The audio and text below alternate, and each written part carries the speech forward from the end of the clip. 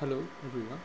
Today in a nutshell, I shall be dealing with antiphospholipid antibody syndrome.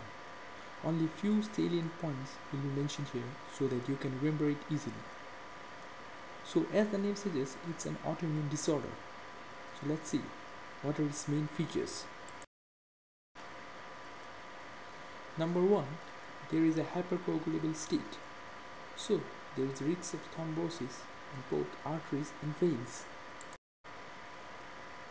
Another important feature in antiphospholipid antibody syndrome is the presence of antibodies. In this condition, you will find a lot of antibodies. These antibodies are against phospholipid beta 2 glycoprotein 1 complex, against the cardiolipin antigen, against the lupus anticoagulant, and against protein S. So, in this condition, you find a lot of antibodies. However, the main antibody which you're always going to find in this condition is against the phospholipid beta 2 glycoprotein 1 complex. So to remember this is the main antibody which you find in APLA.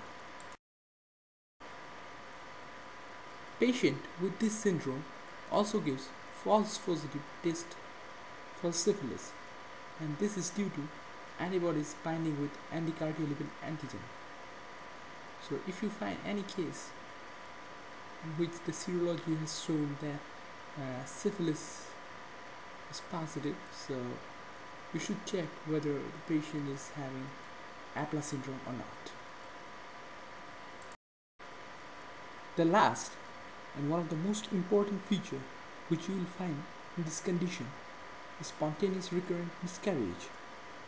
Well, this pregnancy related complication is the outcome of the hypercoagulable state which I just mentioned in the beginning.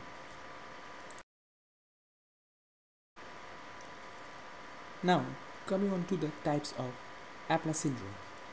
There are two main types, the primary and secondary.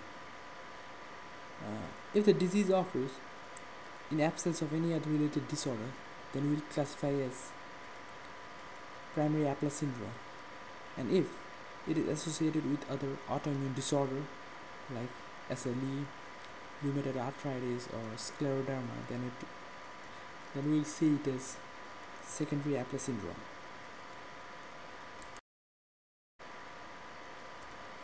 Now, how to make the diagnosis of APLA? Well, it's quite simple. We need to just demonstrate the antibodies and if some clinical features are present additionally, then it makes the diagnosis more easy. Uh, remember that the most important antibody which we must demonstrate is the antibody against phospholipid beta 2 glycoprotein 1 complex and we should also search for clinical features which suggest a hypercoagulable state like um,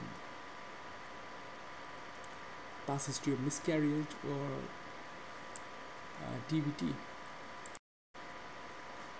Coming on to the treatment, uh, treatment aims at preventing the blood from hypercoagulating. So the treatment options are we can use aspirin, we can use heparin, we can use warfarin. Uh, however, we should be careful uh, that we should not use warfarin during pregnancy as it may lead to fetal malformations. Uh, well, for refractory cases, we have to go for plasmapheresis.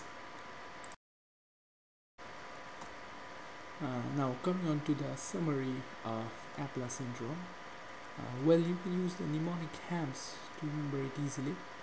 Uh, stands for hypercoagulable state, A stands for the various antibodies that you will see in this condition, M stands for miscarriage, which are spontaneous and recurrent, S stands for syphilis.